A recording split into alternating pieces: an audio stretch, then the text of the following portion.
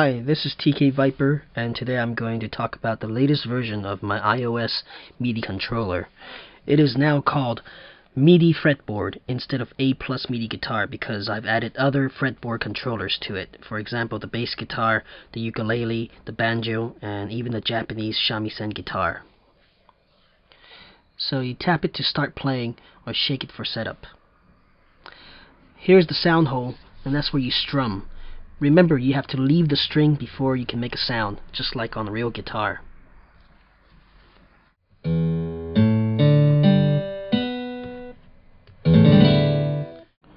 If you rub on the strum area, it's going to vibrate the note. So it's going to produce vibrato or modulation. There are four frets on the neck. This is fret number one. You can swipe on this mini fretboard to move to other positions on the guitar neck. If you hold down the bar button while you're dragging on the mini fretboard, you will bar that fret. So right now, we are at fret 17, and we've barred fret 16 up here. There's another way to change the fret position. So shake the device to go into settings and down here click on shortcuts. And that will give you nine shortcuts on your fretboard. You can program these by double tapping them. And just choose the fret you want to go to. Okay uh, set up all your shortcuts. And when you're done simply tap on a shortcut and it'll jump to that fret for you. And if you swipe away from a shortcut it's going to bar that fret for you now we're at fret 20. Alright, next let's talk about other options. We're going to go from the bottom up. So this one is for setting the timer for fading out notes. You can fade out just the open notes or you can fade out all the notes. As you can tell, all the open notes fade out after 0.78 seconds. Next, setting the time limit for hammer-ons and pull-offs. You have to perform these hammer-ons and pull-offs within this time limit, or else they will not be detected. That's going to work. But if you go really slow, it's not going to do any hammer-ons for you. Sliding all the way to the right will activate tap-on mode, and that will hide the strum area and give you a 5 fret neck to play on. Just tap on the fretboard to start playing. The next slider will let you adjust the key velocity, which is the strength at which you're plucking a string on the guitar. So uh, you can set this to be a fixed value, or you can control it by tilting the phone in the x-axis direction. If you tilt the phone forward, it's going to set this value to be very high, like you're really plucking the strings very hard. If you tilt the phone upwards facing the sky, it's going to set the value at the lowest, like you're barely plucking the strings. Clicking here will give you access to 96 tuning presets that you can use. The first group is for guitars. There are about uh, 49 different tuning presets. The next group is for bass guitars. And you can see these X's here. What they mean is that uh, those strings will not be seen so it's basically a four string bass guitar. And if you scroll down, you'll find uh, tunings for five string bass guitars and six string bass guitars. And this section is called bass when used with Guitar Pro 6. So only use these tunings if you're going to directly input notes into Guitar Pro 6 for making bass guitar tablature.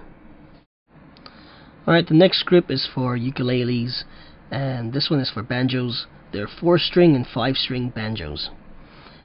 The Indian sitar tunings are divided into two groups. The first one will give you string 1 to 6 and the second one will give you strings 2 to 7. And here we have miscellaneous uh, tunings for the violin, the cello, the Japanese uh, shamisen, and sanshin. Let's check out this tuning here. By selecting this, you're going to get a 3-string shamisen. There you go.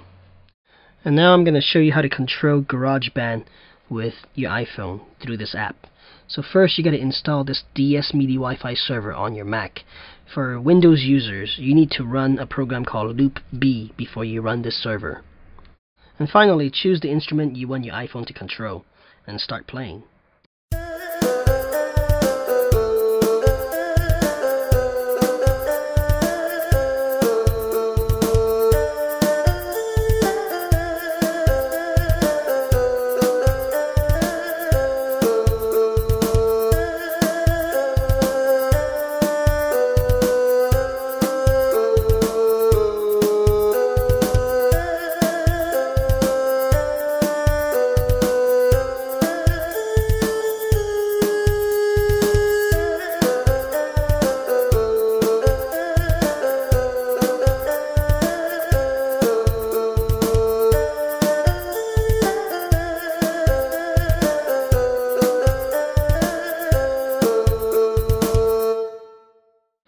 And finally, I'm going to show you how to input notes into Guitar Pro 6 to make guitar tabs or bass tabs. Make sure the tuning inside Guitar Pro 6 is the same as the one on your iPhone. And then click on Sound and MIDI Capture. Make sure this is a DS MIDI server here. And check the box here, MIDI guitar. And when you're ready, tap on the record button.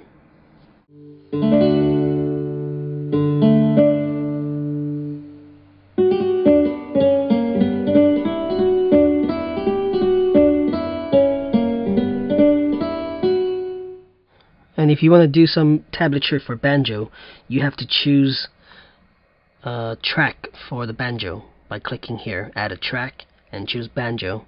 And after you're done, please make sure that the tuning inside Guitar Pro 6 is the same as the one on your iPhone, or else it will not work.